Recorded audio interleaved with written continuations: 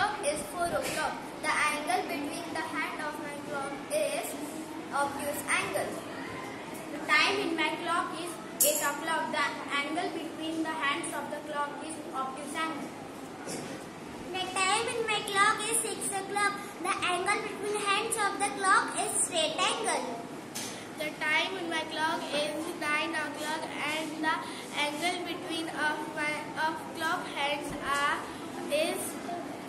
Right angle.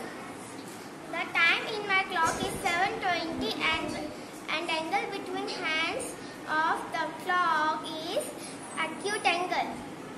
The time in my clock is 10 o'clock and the angle between